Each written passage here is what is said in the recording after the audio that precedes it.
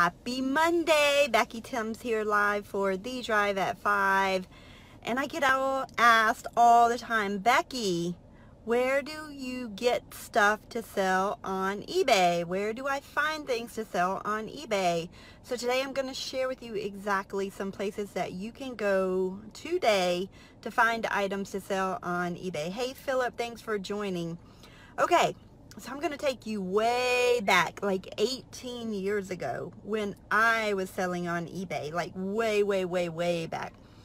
So what I used to do is I would go to yard sales and I would go to flea markets and I would also go to the pawn shop.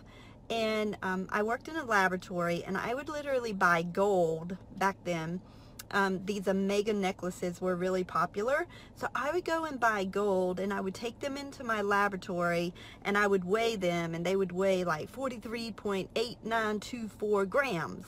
And so in my description on eBay, I would say 43.8924 grams. Well, I had a customer ask me a question and he was like, well, how do you know it's 43.8924 grams? And I was like, well, I work in a laboratory. I put it on analytical balance and I know that it's correct because I tared it and calibrated it and it's good, right? Well, most people don't have access to a um, analytical balance or a, um, a, a, triple, triple beam balance or any of those types of scales. So, um, and, and personally, I would not sell jewelry on eBay right now, but that's just me, but that's what I used to do back in the day. And so I was selling, I was flipping books, I was flipping things from pawn shops. But today, but even back then, and I was buying a lot on eBay as well. As you know, most of the time I buy my clothes from Goodwill because I love um, recycling and using used items over and over and over. Hey, Eric, thanks for joining. But back then, if I found a shirt in my size, I would do on eBay see other items to see what else the other sellers were selling.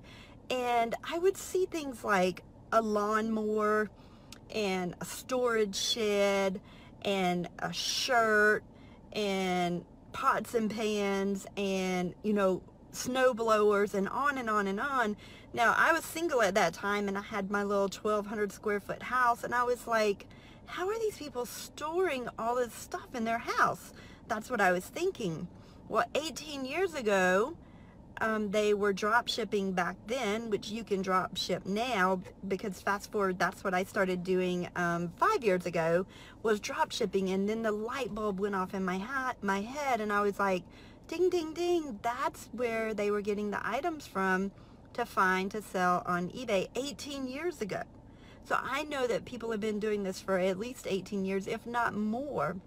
But today, I wanted to share with you some sites that you could go to and find items to sell on eBay.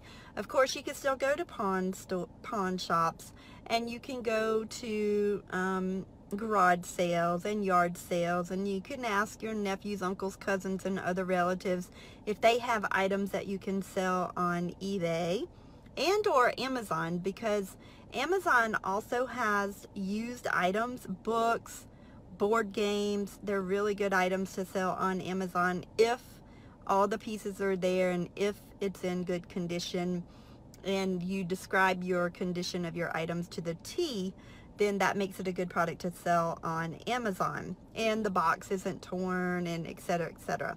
Now, a lot of people think, oh, well, eBay is just junk. And I don't want you to think like that because a ton, a ton, a ton of people still sell on eBay and a ton more even buy on eBay.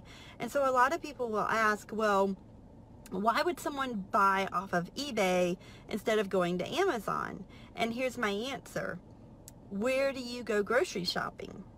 Well, you might say, I go to Publix, or I go to Harris Teeter, or I go to Bi-Lo. And so my, my reply to you is, well, why don't you go to Walmart well, I've always gone to Publix. And why don't you go to Whole Foods? Because I've always gone to Publix. Same thing with the shoppers and the buyers and the sellers on eBay. They've always gone to eBay or they've always gone to Amazon or maybe they search the internet to try and find the best deal. But I will say not everyone does that, and that's why this business model works so beautifully. But I wanted to give you a special place because you're still watching with me here today. I'm going to give you a special website that you can go on, even with even if you're selling on eBay or not, you may be able to go on there and find some deals um, local to you. And the website is called govdeals.com. G-O-V-D-E-A-L-S dot com. So what GovDeals is, it's a liquidity service marketplace. So basically, um, all the government agencies, well, not all, some of the government agencies are allowed to sell on that marketplace so they can sell surplus items and they can also sell confiscated items. So when the police confiscate items, they sell it on govdeals.com. For my company that I work for, I put items on govdeals.com. And Kedrick, I just saw you on here. Do you know about govdeals.com, Kedrick? I know you're a thrifter. So it is a great website that you can go to, especially locally.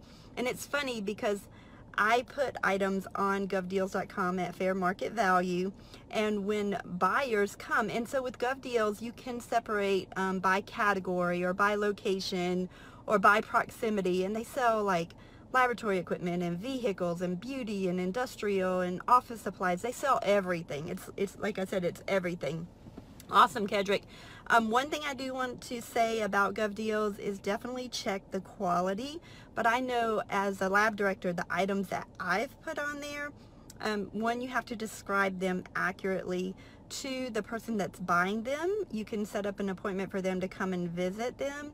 And three, they have to pay um, within 10 days of the auction closing. And it's an auction site as well.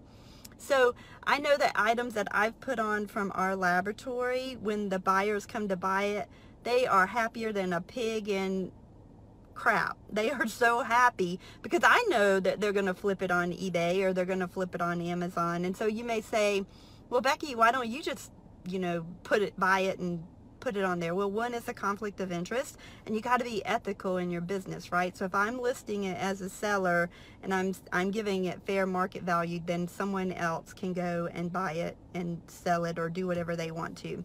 So I know um, a couple of items that I personally put on here through work. One was a typewriter. We had a typewriter from like 25 years ago. Very nice typewriter. It still worked um, someone came, they were tickled pink to get that typewriter. Another one was a VCR and TV combo.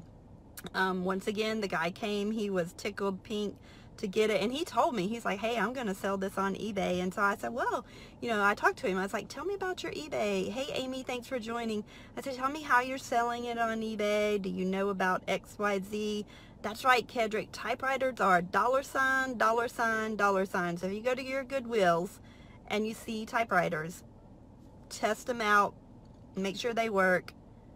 Some don't even have to work. You can sell them as parts on eBay. Um, but just be sure that you uh, um, describe it accurately. I actually did a case study probably about a year ago now. I um, went into the local Goodwill for about 10 minutes and I came out and I was like, this is what I bought. I bought a typewriter. I'm going to list it and it sold within like two weeks on eBay and I flipped it for, I don't know, 20 or 40 bucks. I forgot what it was just by going to Goodwill. So I wanted to share that with you. If you're brand new, if you're interested in starting and you want to learn how to sell on eBay, send me a message. I'll connect you with some of the resources that I started with.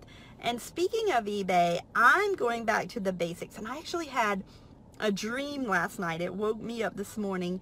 And my dream was that I listed an item on eBay and it went to the number one spot on for that keyword and so I'm gonna test it out it's gonna take me some time because I'm still watching the training but that's what happens in the training and so my thought process is well if she can do it I can do it so literally when I got up to get on the treadmill this morning I was like I'm gonna be on the first page of eBay and I'm gonna be in the number one slot because think about it when you shop on Amazon or when you shop on eBay don't you look at the items that's like the first, second, and third? Maybe you scroll through the first page, maybe not. I don't know how, I don't know your shopping habits, but I know a lot of people do. I know how to get items to the first page on Amazon, like boom, that's why I sell so much. But I don't know how to do it on eBay, but I'm learning. And so I'm going to test my theory. I'll do a case study. I'm not going to show you what I'm selling because um, it's a new market for me and I'm going to um, test it out. But I'll cover it up and let you know like what page I'm on and how long it takes me to get to page one, etc., etc. Kedrick says eBay is all about traffic. Now, Kedrick is like the thrifting king, so he knows tons about eBay, and you are so right, Kedrick. But let me tell you about my hair. Oh, I just got a text that said, you won. That's like, it's expiring at 12.59. They're giving you like 11.59. It's FOMO, right? It's some kind of spam text. But anyway, so this morning, Becky with the good hair, I actually, every morning when I get off treadmill, I drink shake. And in my shake, I have like avocado and spinach and almond milk. Well, this morning, it smells like it's got like extra protein, right? So I drank my shake anyway, but this whole part of my hair just fell in the shake.